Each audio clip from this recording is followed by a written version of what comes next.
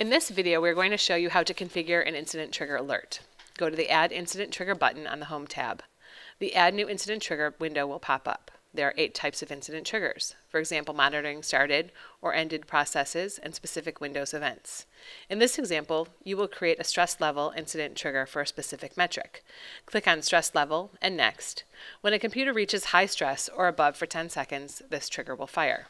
In order to make the trigger more specific, you can choose the counters you would like to monitor. You do this by clicking the Filter Editor button and adding a new item.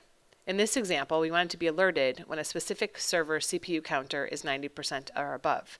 Therefore, we added a second counter to this incident trigger.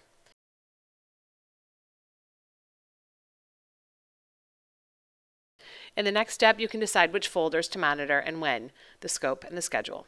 Press OK. In the next screen, you can easily add a follow-up action, for example, receiving an email alert. Click OK and then Next. Lastly, name the trigger that you created and click Apply. This new trigger is shared with all ControlUp users within your organization.